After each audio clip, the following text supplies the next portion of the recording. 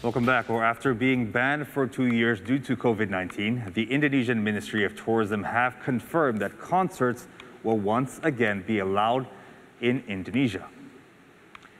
Now, the Indonesian Minister of Tourism and Creative Economy, Sandiaga Uno, confirmed that the government will allow both live concerts and open-air concerts to be held in Indonesia.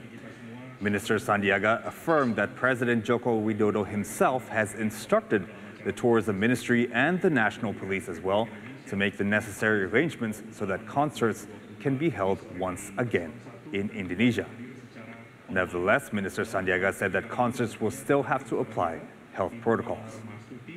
dan juga ada Bapak Deputi Bidang Pengembangan Destinasi uh, Bapak Vincentius Jemadu, ada para pelaku Bapak Presiden memberikan arahan khusus kepada Bapak Kapolri dan kami eh, sebagai Menparekraf untuk memfasilitasi kegiatan konser-konser musik maupun kegiatan seni pertunjukan agar mulai kembali digiatkan, disemarakkan.